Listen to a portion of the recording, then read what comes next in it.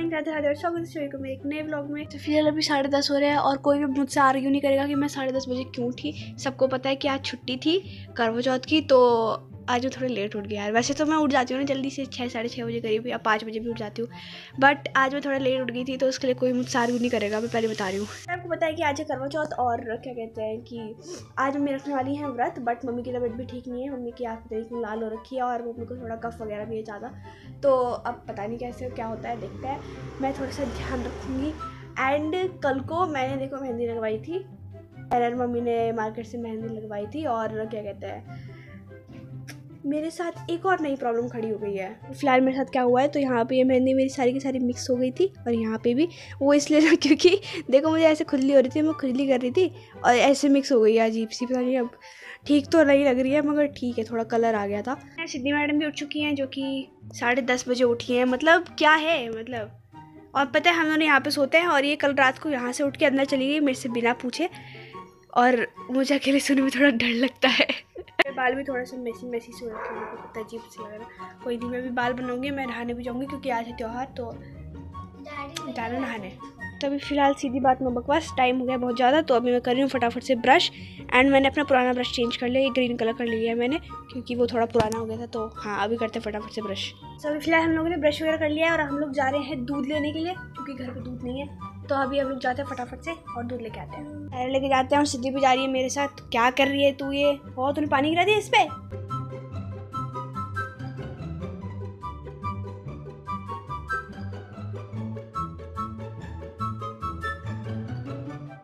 फिर आ गए दूध लेने के बाद और अभी जस्ट मम्मी ने दूध बना दिया हमारा और अभी हम लोग पियेंगे अपना दूध। हम लोगों का चॉकलेट वाला दूध और साथ में मम्मी ने दिए चार बिस्किट और बादाम।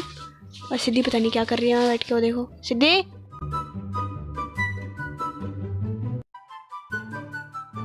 फ़िलहाल मम्मी ने यहाँ पे मंदिर का जो भी सामान था लोटा वोटा सब ये प्लेट थाली वगैरह काफ़ी भारी थाली है वैसे तो। तो सब कुछ धो दिया मम्मी ने देखो सब कुछ सब में शाइन आ गई देखो कितना मस्त लग रहा है। और अभी फ़िलहाल ये मैं नहीं खेल रही हूँ ये खेल रही है पता नहीं किससे बातें कर करके ये जो बर्थडे में लिया था ना किचन सेट इसलिए अभी तक नहीं खोला था मैंने बताया था ना आपको। तो कल ही तो खोला है मैंने कल ही तो करा है हाँ तो कल ही खोला इसने तो आप कल से खेल रही है इसमें थोड़ा मगन है। तो चल खेल ले भाई तुम लोगों के कपड़े वगैरह निकल चुके हैं तो ये सिद्धि की फ्रॉक ये मम्मी के लिए कुर्ता और ये मेरे लिए फ्रॉक तो हाँ अभी हम लोग जाएँगे नहाने के लिए एंड फ़िलहाल टाइम हो चुका है एक तो काफ़ी ज़्यादा टाइम हो गया है तो जल्दी जल्दी करते हैं। One eternity later. फ़िलहाल हम लोगों का खाना भी बन चुका है और अभी जस्ट हम नहा के आए थे तो मैं अभी दिखाती हूँ सभी को। फ़िलहाल हम लोग रेडी हो चुके हैं नहा धो के और मैंने फ्रॉक पहनी है। तो हाँ एंड क्या कहते हैं अभी फ़िलहाल खाना लग चुका है तो खाना खाता है क्योंकि भूख लगी बहुत तेज़ की बहुत तेज़ की। सिद्धि ने यहाँ पहनी है ग्रीन कलर की फ्रॉक और देख रही है, पता नहीं क्या कार्टून देख रही है। पता नहीं इसे क्या ही मज़ा आती है सब कार्टून देखने में, मगर कोई बात नहीं।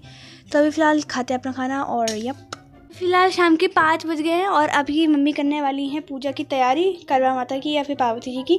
तो अभी यहाँ पे थाली ला रही हूँ मम्मी, यहाँ पे दिया वगैरह और मिठाई वगैरह जो कल को लेके आए थे डैडी और तो वही रखा है।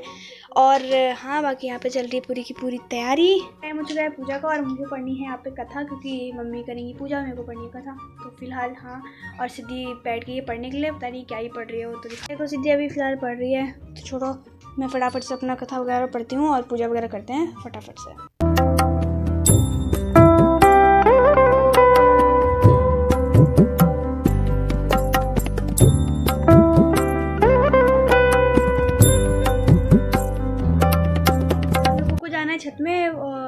सूर्य को जल चढ़ाने के लिए।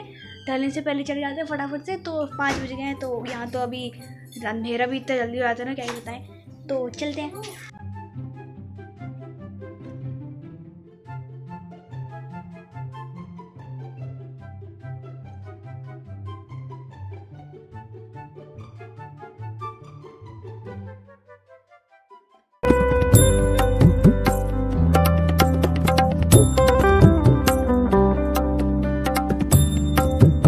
में आ गया और मैं जल भी चढ़ा दिया है। और यहाँ पे देखो कितना ज़्यादा कह सकते हैं मतलब बहुत ज़्यादा यहाँ पे क्या कहूँ मैं कितना सुंदर व्यू है। बहुत ही अच्छा व्यू आ रहा है और यहाँ पे देखो पहली बार मुझे इस टंकी के ऊपर देखने को मिला।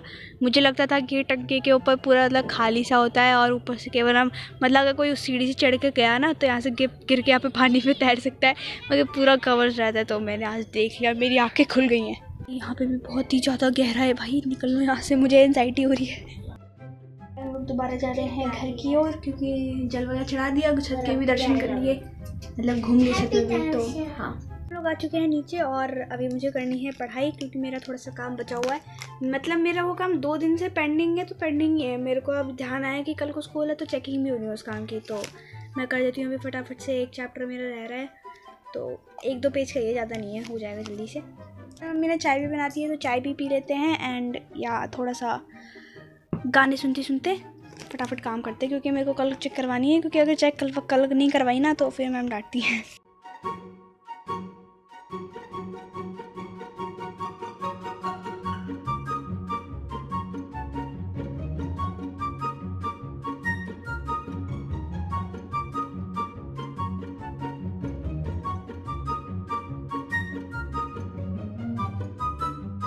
2000 years later.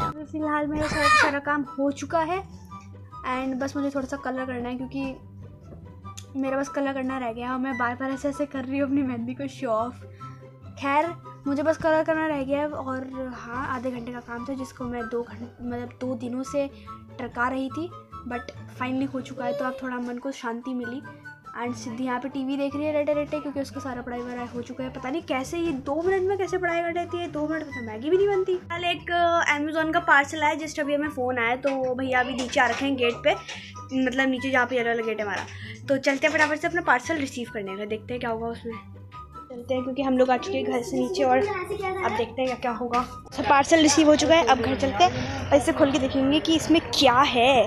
I am super super excited है कि इसमें क्या होगा, क्योंकि पार्सल तो छोटा सा है बट लेट्स सी अभी फ़िलहाल हम लोग घर आ चुके हैं और देखते हैं इसके अंदर क्या है because I am very excited क्योंकि ये पार्सल हमें अभी अभी जस्ट रिसीव हुआ है तो मैं बहुत ज़्यादा खुश हूँ और बहुत ज़्यादा एक्साइटेड भी। तो हमने जब इसका पैकेट खोला तो हमें मिला ये स्टील का कप लाइक ये नॉर्मल कप जैसे ही है बट इट्स ऑफ़ स्टील और इसमें क्या है ना, आप लोग सोच रहे होगे कि गर्म भी हो जाता होगा मतलब स्टील के कप गर्म नहीं होते, वो अगर चाय वगैरह डालो उसमें तो गर्म हो जाते हैं अचानक से और फिर वो बहुत ही मतलब पकड़े भी नहीं जाते तो ये ऐसा बिल्कुल भी नहीं है। ये बहुत ही अच्छा है मतलब कि इसको पकड़ भी सकते हैं, चाहे चाय जितनी भी गर्म हो, आपको बिल्कुल पता नहीं चलेगा बाहर से, आपको बस फूक मार के पीना पड़ेगा, नहीं तो आपका मुँह चल जाएगा, क्योंकि पता तो चलेगा नहीं कितनी गर्म है, कितनी ठंडी है।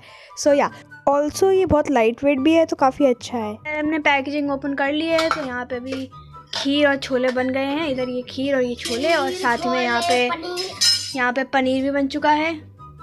तो मम्मी ने ग्रेवी बना के रखी हुई थी, अभी रेडी है तो इसमें पनीर डाल दिया। तो जस्ट पनीर की सब्ज़ी रेडी है और अभी फ़िलहाल यहाँ पे मम्मी बनाएँगी पूड़ी तो वहाँ पे तेल गर्म हो रहा है उसके लिए यहाँ पे जो पूड़ी का आटा है, वो मम्मी ने गूँध के रखा हुआ है। बन चुका है। तो अभी हम लोग जा रहे हैं छत में, क्योंकि थोड़ा सा चाँद वगैरह आना स्टार्ट हो चुका है। तो चलते हैं।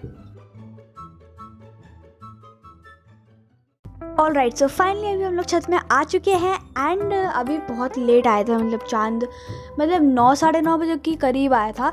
सो so, हाँ और अभी जस्ट हम लोग छत में आए हैं पूजा वूजा करने के लिए। तो हाँ मम्मी अभी चाँद की कर रही थी पूजा और चाँद को जल भी चढ़ा रही थी। तो वो देखो वो लाल कलर का चाँद दिख रहा है ना उधर। और यहाँ पर लाइटिंग भी ख़राब हुई थी छत की तो इतना दिख नहीं रहा होगा क्लियर से।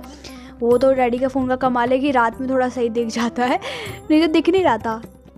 2000 years later. यहाँ पे हमारा खाना वाना लग चुका है तो आज खाने में छोले और पनीर और पूड़ी। हम लोग आ गए थे छत से नीचे तो मैंने इतना शूट नहीं किया था। तो अभी फ़िलहाल ये सब बन रहा था तो अभी सिद्धि का खाना लग चुका है। मेरा भी खाना लग चुका है तो चलो अब खाते हैं एंजॉय करते हैं।